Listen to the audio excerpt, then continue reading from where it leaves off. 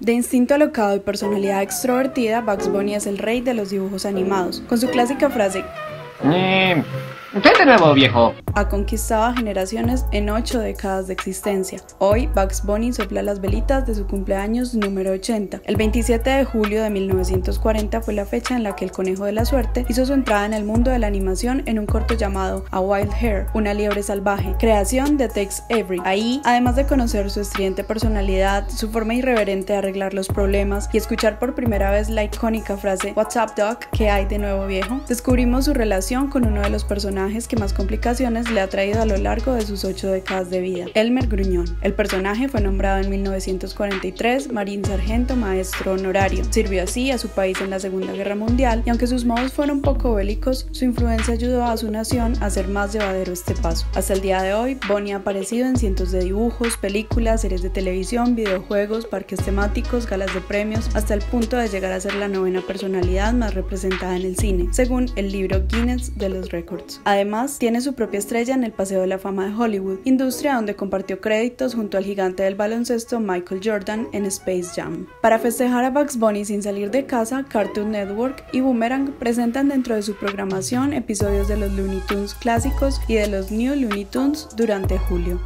How about me, boss? Oh, yeah, one for you. And me, boss. One for you.